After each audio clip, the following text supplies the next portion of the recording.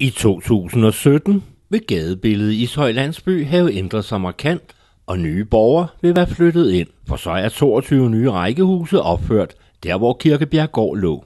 Nu er entreprenørmaskinerne gået i gang, men inden det kom så langt, var der nogle lokalplaner, der først skulle på plads, og det tog længere tid end beregnet.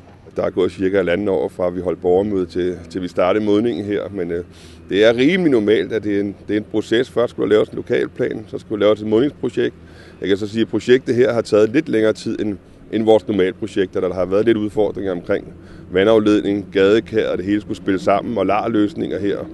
Men altså, det er normalt, at der går mindst et år med at få lavet en lokalplan og et modningsprojekt, inden vi starter. Så.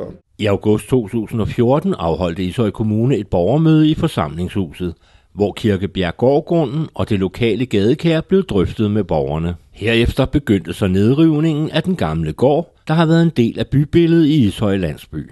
Nu er så Lind og Risør store maskiner gået i gang.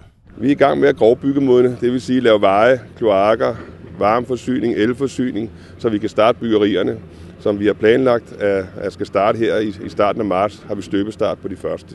Det er rækkehusbyggeri i halvanden plan.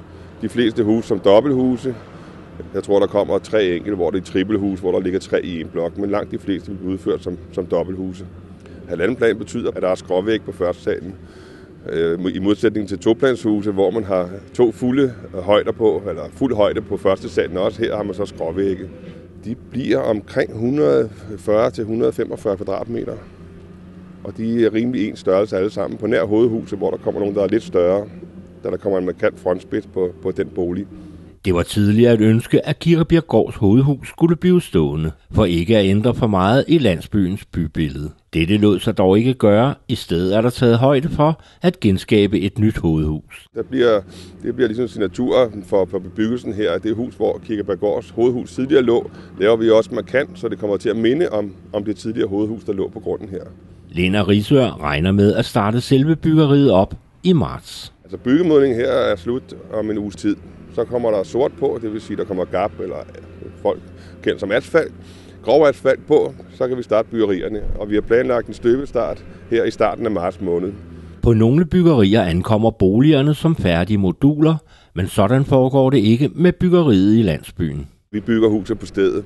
Det vil sige, at vi støber, og så rejser væggene på stedet, og så skalmur bagefter, når huset er lukket og rejst.